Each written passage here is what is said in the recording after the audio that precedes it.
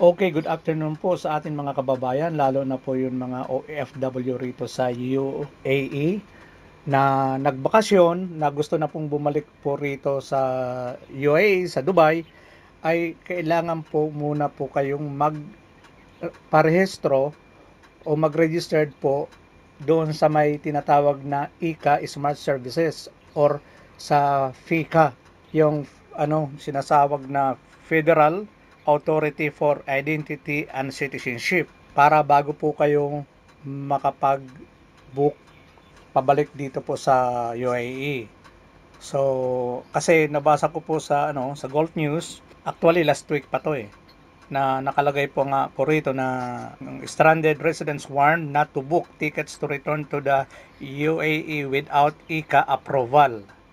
Ito po yung mga sinasabi na UAE authorities have warned stranded residents not to book flights or travel back to the Emirates until they receive approvals of their request. Gulf News has learned ito. In a new warning on the website of the Federal Authority for Identity and Citizenship or ICA, the authority said that residents can book tickets only after getting approval through the authority website. So, kailangan po talaga mag-parestro uh, po muna kayo doon. Mamaya papakita ko sa inyo kung saan. I-google natin. It comes as thousands are expected to return on June 1 the first day residence visas will be reaccepted into the Emirates after over two months of flight and visa suspensions due to the coronavirus pandemic. However, the June 1 ruling comes with a caveat. Please don't book or buy your travel tickets and travel unless you obtain the approval of the applications as reviewing your application may take some time, said a notice on the authority website. Yun ang nakalagay doon sa website nila. After getting the application's approvals, please proceed to book your travel tickets as per your actual traveling dates. Yun ang nakasa doon. Many of UA residents are trying to register on the website of the ICA to apply for permit to re-enter the country from June 1. Ang dami na talaga dami na talagang uh, pumapasok dito nag apply pero ang iba talagang na-deny. The Ministry of Foreign Affairs and International Cooperation or MOFAIC the Federal Authority of the Identity and Citizenship, ICA, had announced that stranded UAE residents can return home as of June 1, provided they register on the sites to obtain an entry permit. The authority said earlier that anyone holding a valid recently o ito ang pinakamaganda. Expired UAE residency visa can apply for an entry permit on the Federal Authority for Identity Citizenship website and government will facilitate their return from June 1. The announcement was made for the benefit of residents who have been stranded in different countries because of coronavirus. Related flight suspensions. The decision applies to individuals and families who carry valid residency visas. Upon entering an email address at the ICA Smart Service System site, it automatically sends back a registration verifications email to complete the procedures. On clicking complete registrations, it redirects to the users the ICA website and your email has been verified. Okay, ito na yung how to apply. According to the website, residents outside the UAE need to attach an colored photo with the request as well as copy of the residency copy. Nandun yung mga passport, kailangan yun, kailangan colored yung valid passport mo, saka siyempre yung, yung visa, and a proof of the reason outside the country like letter from employer or the work organizations, educational organizations, or medical organizations. Yun po ang mga kailangan. If the reasons behind the travel was for tourism purposes, then a copy of the tickets need to be attached in the request. People don't need to pay any fees to submit the request. So hindi na kailangan kayo magbayad. Okay? It's free po ang nakalagay rito. Those stranded and looking to return to the UA after June 1 can register via the following link to obtain the country permit. Okay, bago po natin umpisahan, sa mga hindi pa nakapag-subscribe pala, mag-subscribe na po kayo At huwag niyong kakalimutan ang notification bell para update kayo lagi sa mga video na gagawin ko. Okay? So, ito para sa mga OFW na gustong bumalik dito sa UAE. Pero nahihirapan sila dahil nga sa mayroong uh, registration pa na dapat gawin para kayo makabalik dito. So, ang gagawin nyo, okay, punta tayo ng Google. Okay, so here we are. Tapos, i-type natin ang ICA. Ayan, meron na. ICA, ECA, ito yung uh, dapat natin unahin.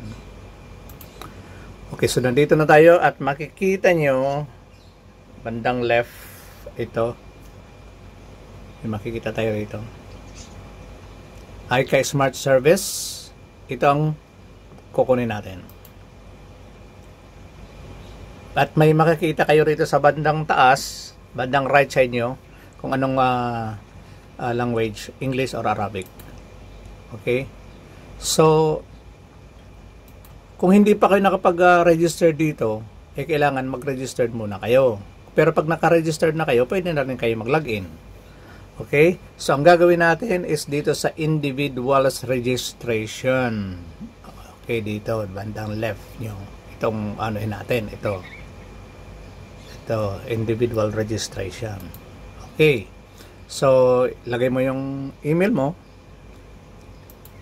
okay nandito na yung email ko tapos doon uh, huwag niyo kalimutan ito I'm not a robot tapos para kayo makapag-continue ayan nandito na kayo sa loob okay so dito kayo mag-fill up So, may mag-rated, may makikita kayo rito. Ito, ito, ito. Public service, golden service, extend visa, services, and registration for resident outside UAE. So, dito tayo sa registration. Tapos, yan. Makikita niyan. Dito, meron kayong pipilapan. Yan.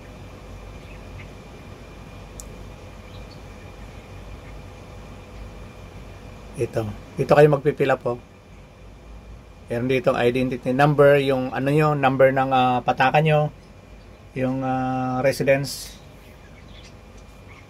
dito nyo ilalagay number nyo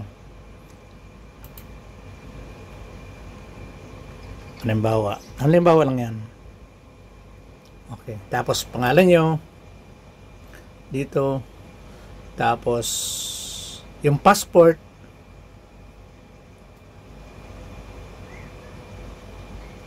Tapos ito, passport types, makakapamili kayo rito. Um, ano kayo, return, dip, kung mga diplomat kayo passport, bahala kayo. Okay. So, dito naman, yung nationality nyo, Philippine, okay,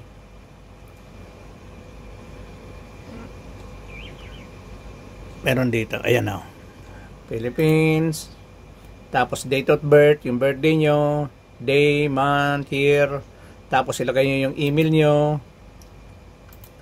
tapos yung uh, number nyo ito number nyo rito sa UAE saka yung mga permanent mobile number nyo okay tapos yung ano dito reason uh, mga family kayo rito kung mayroon uh, family visit, medical treatment, others tourism ito. Tapos uh, arrival information, ito arrival date. Kailan ka aalis?